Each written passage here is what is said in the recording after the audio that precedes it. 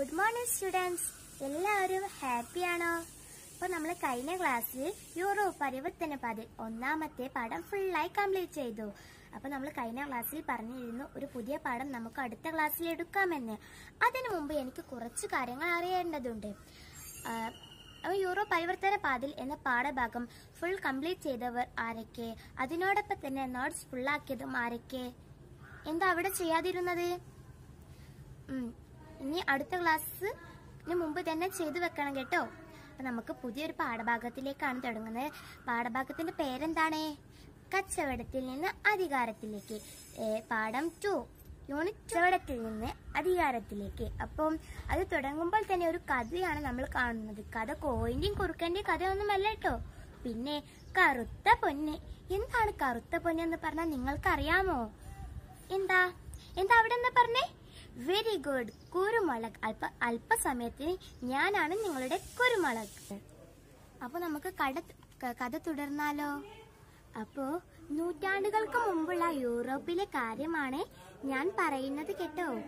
മാസങ്ങൾ നീണ്ടു നിൽക്കുന്ന ശൈത്യകാലം ആരംഭിക്കുന്നതിന് മുമ്പേ അവിടുത്തെ കർഷകർ അവരുടെ ആടുമാടുകളെ കുറച്ചെണ്ണത്തെ കൊന്ന് ഇറച്ചിയാക്കി എന്താ ശൈത്യകാലം എന്ന് പറഞ്ഞാൽ? അതെ മഞ്ഞ്. മഞ്ഞ് വരുന്ന ഒരു കാലമുണ്ടല്ലോ. അതാണ് ശൈത്യകാലം. അപ്പം മഞ്ഞ് മഞ്ഞിൻ മഞ്ഞ് വീഴ്ച കാരണം അവർക്ക് പുറത്തിറങ്ങാൻ കഴിയില്ല. അതുകൊണ്ട് അവർ ശൈത്യകാലം വരുന്നതിന് മുമ്പ് തന്നെ അവിടുത്തെ കർഷകർ അവിടുത്തെ ആടുമാടുകളെ കൊന്ന് ഇറച്ചിയാക്കി സൂക്ഷിക്കുമായിരുന്നു എന്നാണ് ഇവിടെ പറയുന്നത്.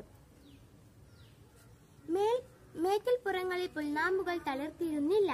ഇത് തീറ്റയ്ക്കുമിടമായി തീറ്റയ്ക്ക് മിക്കിടയാക്കി. മനുഷ്യർക്കും ശവം നേരിട്ടിരുന്നു. കാലികളെ കൊന്ന് ഇറച്ചിയാക്കി സൂക്ഷിച്ചാണ് ഇതിന് പരിഹാരം കണ്ടത്. അപ്പൊ ഇന്ന് ഇന്നൊക്കെ നമ്മൾ എന്താ ചെയ്യുന്നത്? ആ ഭക്ഷണ കേട് വരാതിരിക്കാൻ നമ്മൾ ഫ്രിഡ്ജിലാണ് സൂക്ഷിച്ചു വെക്കാറ് അന്നത്തെ കാലത്ത് ഫ്രിഡ്ജൊന്നും ഉണ്ടായിരുന്നില്ല. അപ്പൊ നമ്മൾ ഈ വെളിച്ചെണ്ണൊക്കെ നമ്മൾ കേട് വരാതിരിക്കാൻ അതിൽ കുരുമുളക് ഇട്ട് വെക്കുന്നത് നിങ്ങൾ കണ്ടില്ലേ?